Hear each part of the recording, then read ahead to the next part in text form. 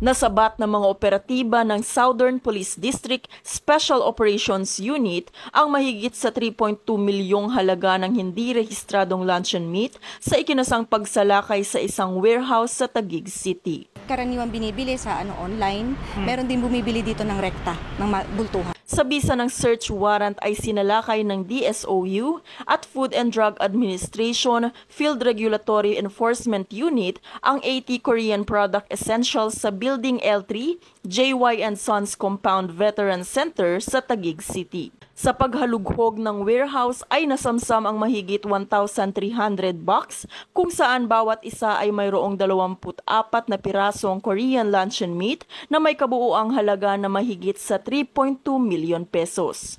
health risk para sa ating mga kababayan na maaring makapag ah, maka, ma- maka-intake nito or food consumption bilang ito ay produktong pagkain na nakain natin mga kababayan dapat nararapat po yan na dumaan sa Food and Drug Food and Drug Administration Ang mga nasabat ay hinihinalang smuggled na produkto at hindi rehistrado sa FDA kaya't hindi tiyak ang kaligtasan ng mga consumers na makakakain nito.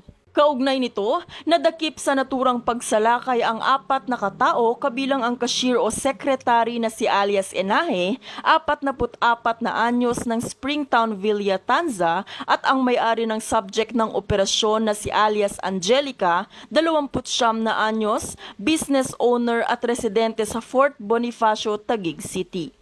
Nahaharap sa kasong paglabag sa RA 9711 o Food and Drug Administration's Act of 2009 ang mga suspect.